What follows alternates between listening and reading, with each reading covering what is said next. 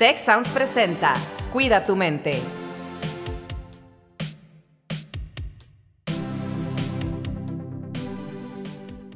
Hola, ¿qué tal? Bienvenidos a un episodio más de Cuida tu mente. Yo soy Rosalinda Ballesteros y me acompaña, como siempre, Carlos Ordóñez. Carlos, ¿cómo estás? Hola, Rose. Pues muy bien, muy contento de estar aquí en un episodio más.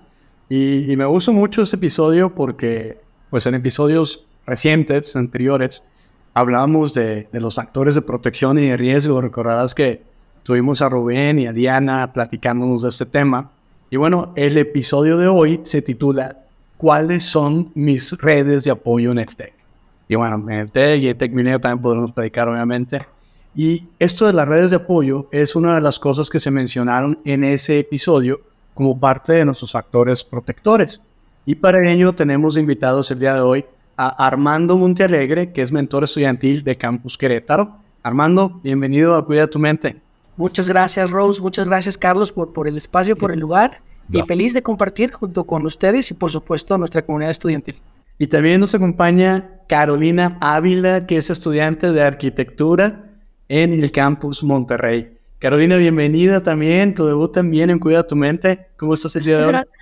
Hola, hola, buenas tardes. Muy bien. Es un día, bueno, relativamente tranquilo, pero feliz de estar aquí. Oigan, excelente. Pues muchas gracias por acompañarnos y como bien decía Carlos, hemos estado hablando de los factores de riesgo y de los factores protectores, ¿no? Y cómo nosotros, nosotras podemos generar mayor bienestar, habilidades para, pues no solo sobrevivir a lo mejor a los retos de la vida, sino verdaderamente crecer, desarrollarnos y pues a lo mejor justamente empezar por ahí, ¿no? Preguntarles, pues, cuáles son estas redes de apoyo desde el punto de vista de una estudiante, Carolina, ¿tú qué utilizas cuando necesitas ayuda o cuando tienes una situación sobre tu bienestar y dices, bueno, esto es lo que voy a hacer? Yo creo que mi primera línea de apoyo, o sea, siendo estudiante y teniendo pues a la gran mayoría de mis mejores amigos dentro de campus, o sea, es primero los amigos, o sea, sucede algo, eh, he tenido algunos temitas como de salud mental o presión o, o, lo que sea, como inmediato, sea por tareas o por alguna situación. Y creo que siempre es buscar eh, quién está en campus, ¿no? O sea, mis amistades primero. Ya si es algo, no sé, a lo mejor un poco más fuerte o lo que sea, eh, tal vez eh, bueno, con mis papás o mi hermana que también está en campus, pero sí he llegado a, o sea, he ido a consejería también dentro de algún momento de crisis o, o en sí haciendo pues mis citas, ¿no? Como de seguimiento para, eh, sea como del bienestar académico o, alguna situación que, que traigan la mente como un poco más seguido, pero creo que es eso, o sea, mi primera línea son mis amigos, buscar quién está presente en campus. Armando, en tu rol de mentor, eh, ¿qué, ¿qué, son las herramientas que pones disponibles, por ejemplo, a estudiantes como Carolina o todos los que hay en, en los campus? Pues yo creo que, que el, el, estudiante del Tecnológico de Monterrey y por supuesto Tecmilenio puede encontrar muchas herramientas para formar estas redes de apoyo. Como bien decía Caro, quizá lo, lo primero que se nos viene a la mente son nuestras amistades, pero en realidad existe un ecosistema de, bienestar donde por supuesto está todo, todo el trabajo de mentoría, eh, el trabajo de consejería, el programa Peer Mentor y por supuesto herramientas tecnológicas y digitales como la línea y el sitio Te Queremos. Creo que todas estas herramientas en conjunto van haciendo lazos mucho, mucho más fuertes y que trabajan en conjunto para el bienestar de los estudiantes. Yo pienso que sí es una, o sea, sí, vaya, son herramientas muy padres y que incluso, pues como mencionaba, yo llegué a necesitar en algún momento y que sí me sirvieron bastante.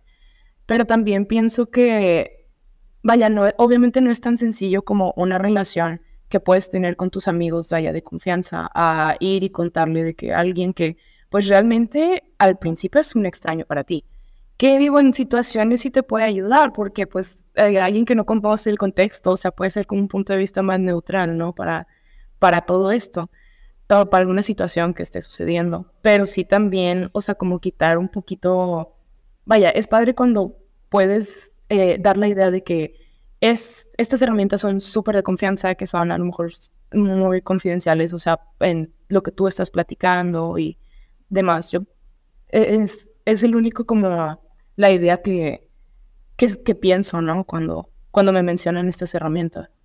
Tienes razón, Caro. Creo que, finalmente cada nudo de estas redes pues están formadas por personas que forman parte de nuestra vida. Como bien mencionas tú, amigos. Y sobre todo que nos aceptan y nos quieren como, como somos, sin juzgar nuestros sentimientos. Eh, por supuesto, existen todos estos sitios, herramientas que cuenta la institución. Sin embargo, también, por ejemplo, equipos representativos. Ahí haces amigos con interés en común. Grupos estudiantiles estos lazos se van fortaleciendo poco a poco y lo que es importantísimo, creo yo, Carlos, creo yo, Rose, es reconocer estas redes de apoyo y recurrir a ellas cada vez que lo necesitemos. ¿Por qué? Porque eh, muchas veces tan solo desahogarnos nos ayuda a, hacer esta catarsis, a cuidar nuestro, nuestro pues, bienestar y, y yo estoy a favor de normalizar el solicitar ayuda. Claro, claro, eso es súper importante lo que acaban de decir, porque esto aplica no solo para estudiantes, ¿eh? aplica para cualquiera que escuche, padre de familia, profesional, eh, médico, psicólogo. Es más, como buenas prácticas, los psicólogos acostumbran tener psicólogos, ¿no? O sea, para poder desahogarse, para poder atenderse y todo. Y me parece fabuloso esta apertura que mencionas, Carlos, de, de que pues, tú has recorrido estos servicios y que qué, padre poder hablar de esto abiertamente, porque en las épocas tal vez de antes, de, mis papás, todavía era mía, pues no se hablaban de estos temas. La verdad, tocar estos temas, poderlos platicar y poder decir, oye, voy a estos servicios, existen estos servicios, ¿verdad? Todavía. Entonces, es, es muy, muy bueno que podamos normalizar esto de pedir ayuda, normalizar esto de que, oye, está bien, no siempre estar bien. Eso es lo normal de la vida, ¿no? A veces estamos aquí bien, a veces estamos más abajo, a veces estamos más en medio, pero eso es lo normal, sentir, reconocer esas emociones es lo que estamos trabajando a través de muchos de los programas. Me gustaría preguntarte, Caro, tú ya eres un estudiante, digamos, senior, ya estás en semestres avanzados y además estudias una carrera como lo es arquitectura, que demanda largas horas de, de trabajo, de esfuerzo, desveladas, que todo eso obviamente incide en tu bienestar, ¿no? Y mencionaste hace rato que ha habido momentos a lo largo de, tu carrera profesional en los que ha recurrido, en los que ha recurrido a estos recursos. Me gustaría preguntarte, a ver si puedes profundizar un poquito más, no en los detalles de a qué fuiste ni nada, pero ¿cuáles fueron los, detonadores? ¿Cómo te diste cuenta que llegabas a un punto en el que necesitabas ayuda? Para que la gente que nos escucha diga, oye, yo así me siento, o sea, yo así estoy, o ya pasé ese punto y no he ido, ¿no? Sí, yo creo que, bueno, primero para mí también ha sido un poco difícil en cuanto con mis papás, o sea, no es un tema pasado todavía, de que, que los papás están como un poco en contra de que es que si vas al psicólogo es porque estás loco, o sea, y en realidad no es eso, eh, en realidad es pues que necesitas una, una primera línea de apoyo justo. Yo fui, bueno, para contexto, yo la verdad vivo muy ocupada. O sea, estudio obviamente pues una carrera bastante eh, demandante en cuanto a tiempo y demás. Este, pero también he estado trabajando desde que estoy en sexto semestre de la carrera y estoy en un grupo representativo justo. Estoy bailo folclore, estoy en raíces. Y además estoy jugando boli y pues mi servicio social y de repente proyectos que salen por fuera eh, de lo académico. Entonces, eh, pues la verdad es que vivo como que todo el día así, hasta la, salgo de mi casa a las 7 y media, 8 de la mañana y, regreso hasta las 12 a veces, o sea, saliendo de ensayo. Entonces, pues, aunque te acostumbres a vivir un, como este ritmo de vida todo el tiempo rápido y todo el tiempo haciendo cosas y todo el tiempo ocupado, yo me acuerdo que, bueno, la primera vez que fui a consejería fue en enero, en el semestre de, bueno, febrero, junio del año pasado, y fue porque, aunque vivía así todo el tiempo, como que llegó un punto en el que ya no me quería, o sea, era como una fatiga, eh, pues, pues no sé si crónica, no sé, o sea, pero un desgaste increíble, tanto físico, tanto como emocional. yo en mi, en mi anterior trabajo ya no me estaba sintiendo como motivada. Sí, vaya, me, me iba muy bien, pero no me estaba sintiendo como retada, o sea, como que es que necesito estar aprendiendo más, que necesito, vaya, tenía esos pensamientos, ¿no? Como que me, sentía estancada. Y no sentía, vaya, se me hacía muy difícil como que ese pensamiento, porque no manches, o sea, estoy de practicante y ya me estoy sintiendo estancada. O sea, ¿qué me espera, no? Entonces sentía como que necesito salir de ahí. Y luego la presión normal de la escuela de llevar carga completa. Entonces llegó un punto en donde yo me sentía muy, o sea, como muy triste todo el tiempo. Aunque estuviera ocupada, me sentía muy triste todo el tiempo. En las mañanas me despertaba y era como, sí, no sé, es que no, ni siquiera quiero estar despierta. O sea, a veces como que ese tipo de pensamientos salían, ¿no? Eh, era un, aunque me gustara todo lo demás que estaba haciendo, de que ir a ensayos, ir al boli, ir a, a, proyectos que tenía que me emocionaban mucho en un principio, o sea, ya no sentía motivación casi que para nada, o sea, muy poquitas cosas era así como que me, me llevaban a, bueno, de que por lo menos hoy es un día ocupado, pero por lo menos en la noche voy a ensayar. Y le platiqué esto a una de mis mejores amigas, de que es que, o sea, ya estaba yo incluso como normalizando de que el estar triste todo el tiempo, el tener ganas de llorar todo el tiempo, o sea, aún en mis actividades de diario. Y le platiqué esto a una de mis mejores amigas y me dijo como que, ¿has intentado de que ir a terapia? o por lo menos de que buscar ayuda uno, en consejería o algo por el estilo. Y me pasó incluso de que los contactos, o sea, para sacar cita en consejería y todo. Y como yo tengo este tema de que pues mis papás no están muy de acuerdo en que a lo mejor que vaya, que busque ayuda eh, clínica o vaya con un psicólogo eh, por fuera de, de, campus o así, este, me dijo, me, me, pasó como los datos, ¿no? De dónde podía sacar cita, de dónde podía ir.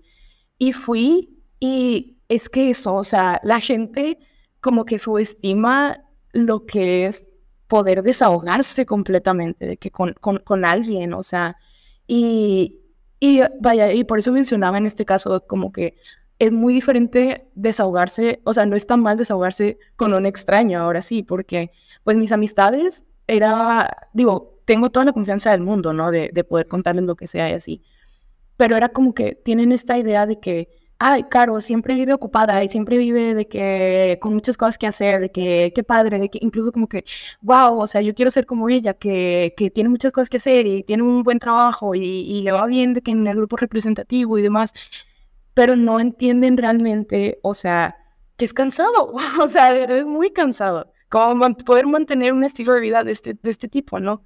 Entonces yo llego a consejería y, y pues empiezo a platicar de que es que o sea, me siento así, he estado pasando esto, el trabajo ya no me motiva, la escuela pues está ahí, pero no me está encantando mi carrera, cuando los el resto de los años yo, y hasta la fecha de que me encanta mi carrera. Este, y fue como que, o sea, como si me agarraran de la mano de que, a ver, ven, vamos a encontrar de dónde está surgiendo todo esto.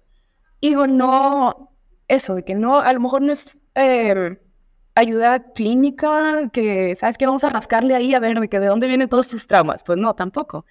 Pero simplemente eso, que te puedan como guiar a encontrar de dónde viene este sentimiento que tienes ya desde hace un ratito, de dónde, por qué te estás sintiendo así, por qué la carga que estás teniendo está siendo una carga para ti en vez de sentirla solamente como una responsabilidad.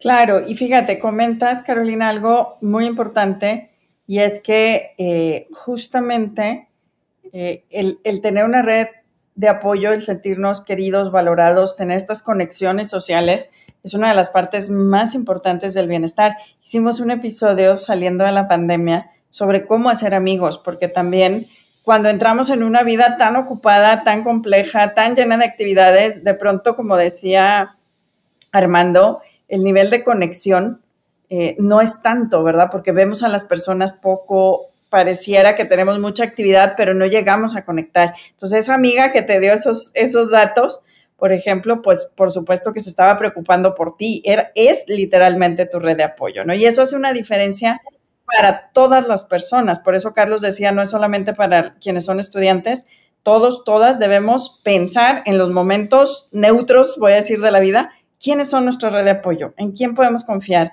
con quién podemos construir esas conexiones para precisamente tener ahí eh, esas personas cuando las necesitamos. ¿Y de quién somos nosotros, red de apoyo? no solamente quién me ayuda a mí, sino a quién, a quién ayudo yo, ¿sí? Eh, y Armando, creo que tú eh, puedes hablar mucho del acompañamiento emocional no clínico que hay dentro, ahora sí dentro de, de, los servicios del TEC, ¿no? Sí, por supuesto. la verdad es que el acompañamiento emocional para cada uno de los estudiantes, pues está medida de cada uno de ellos, porque son distintos. Entonces, por supuesto, la importancia de la escucha, de qué nos preocupa, porque nadie entiende qué está sintiendo más que la persona que lo está viviendo. Entonces, a veces externarlo eh, es, es, bien importante para justo dar este acompañamiento emocional y buscar dentro del TEC a las personas indicadas porque existen. Ahorita escuchándote, Caro, eh, me doy cuenta y, agradezco mucho a tu amiga, porque si bien además fue una escucha, te dio los, los dónde, ¿no? Las personas dónde podrían brindarte este apoyo. Y, y ahorita también escuchando a Rose, y recordando un poco todo lo, complicado que fue la pandemia y los grandes retos, incluso problemas que nos pudo haber dejado, tragedias, creo que una valiosa lección fue el cuidado de la salud mental. Nos dimos cuenta que tenemos que, buscar ese bienestar, no solamente físico, sino eh, emocional, como bien mencionábamos. Y fíjate que dices algo que me parece muy relevante, Armando, porque a veces sentimos, pero no sabemos qué estamos sintiendo. No, no tenemos eso que hemos tratado en otros episodios, eh, Rose se acordará en eh, nuestra audiencia, ¿no? Que le llamamos alfabetismo emocional, ¿no? No tenemos a veces ese alfabetismo emocional para realmente ponerle una etiqueta específica a esa emoción que traemos. Estoy sintiendo algo, ¿qué es? Es, es, es de impresiones, y no, pues, molestia, es rabia, estoy furioso, así como decía mi hija, estoy furiosa, no se enojaba, ¿no? De chiquita. ¿Qué, es esa emoción, no? Entonces tenemos también gente que nos acompaña en todo este proceso que le llamamos así, modelo de acompañamiento, para poder ayudarnos a identificar esa emoción. Y en ocasiones anteriores hemos hablado de una app que se llama How We Feel. How We Feel es una app desarrollada por el Centro de Inteligencia Emocional de Yale, por el doctor Mark Brackett, que es el creador de un programa que se llama Ruler, que se sigue en las prepas del TEC y precisamente está enfocado a generar, ayudarnos a crear, a desarrollar este alfabetismo emocional. Esta app se la súper recomiendo, yo la tengo aquí justo en mi telefonito. Está padrísima, creo que solo está disponible ahorita para iOS, el sistema de Apple. Ojalá que pronto esté para Android, no sé si ahorita ya esté, ahí, ahí lo chequen.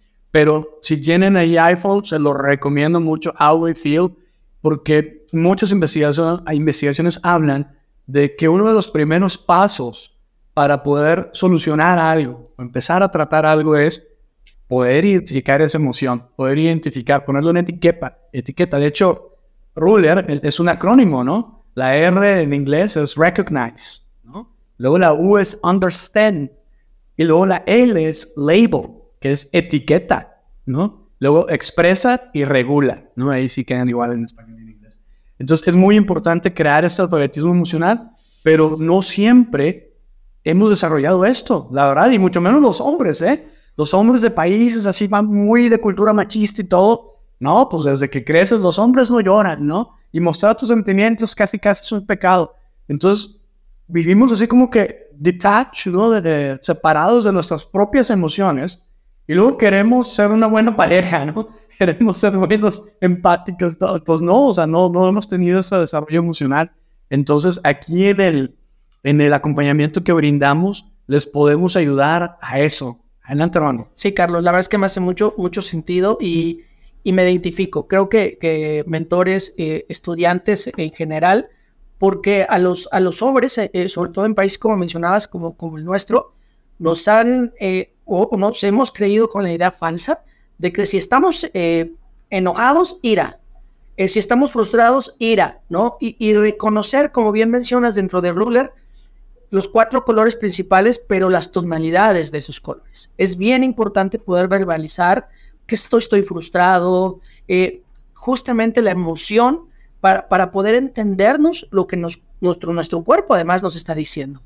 Porque necesitamos aprender a reconocer la sensación y cómo el cuerpo nos las está transmitiendo justamente yo creo que el acompañamiento emocional que brinda el TEC, desde mentoría, desde consejería, y a mí me gustaría decir, eh, el ecosistema te queremos, Carlos, porque si bien está el sitio, está la página, y eso hace que, que los nudos de estas redes se vayan fortaleciendo. Mencionabas la app, me parece una aplicación brillante porque nuestros, nuestros estudiantes tienen la facultad de movilidad entre campus. Entonces, la red se va expandiendo, no solamente se queda en un campus, sino va creciendo por esta movilidad que tenemos como intercampus o programas, etc. Justo, y, este, y, y la tecnología nos brinda esta posibilidad de, de ir fortaleciendo las redes de apoyo. Yo creo que también, o sea, más que en las partes tecnológicas y aplicaciones y todo eso, uh, nada, para mí nada va a reemplazar jamás de que el contacto humano, ¿no? Como la, eh, la empatía humana, simplemente. Y algo que me gustó mucho, o sea, hablando también pues de las herramientas, ¿no? Que ofrece consejería. No sé qué tan, cómo funciona exactamente, pero a mí me sucedió, este es el semestre pasado, de hecho, eh, otra vez estaba como que volviendo a caer en ese hoyo, ¿no? De, donde, de, de, como un burnout o así. Y llegó un punto en el que eh, en clase y medio de la clase me empecé a sentir muy mal. O sea, de verdad, como, pues no sé si a lo mejor un, bueno, eh, en consejería me dijeron que era como un ataque de pánico. Este, y pues me tuve que salir de mi salón y, y, me fui atrás del centro de congresos a llorar un ratito. Y pues ahí estaba, llorando y llorando, y mi mejor amiga no me contestaba, y así como que a quién busco, a quién busco. Ya como pude, o sea, medio me calmé y dije, ya fue suficiente, o sea, necesito buscar ayuda otra vez. Entonces, según yo, no me sequé mis lágrimas y según yo ya estaba normal y dije, voy de una vez a hacer cita consejería de que pues entre más pronto mejor, ¿no? Y algo que me gustó mucho es que yo llegué y bueno, evidentemente después de llorar no estás bien, o sea, traes los ojos rojos y todo hinchado, ¿no? Entonces yo pienso, o sea, a como me imagino que funciona, como que hay eh, gente que está como en guardia. Entonces yo llego y me ven de que todavía yo no sé, yo, por favor, ¿me pueden dar cita? Y, ah, sí, sí, siéntate un ratito. Y en eso sale alguien de que por mí, de que Carolina, y yo, sí, y ya me dijeron de que vente, pásale. Y en ese mismo ratito, o sea, me dejaron llorar tantito y así como que a como pude eh, estar contando un poquito de lo que sentía, poquito de lo que pasaba. Pero creo que e, eso, o sea, se me hizo increíble, de verdad. O sea, el que no puedas, o sea, vaya, que, que tú vayas y que no sea, ah, sí, no te preocupes, de que te damos cita en dos semanas.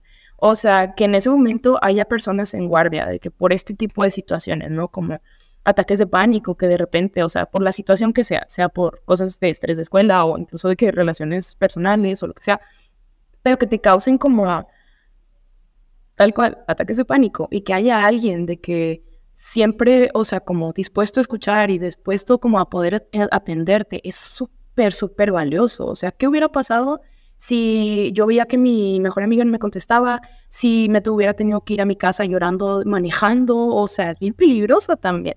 Entonces, como eso es, es muy, muy, muy valioso.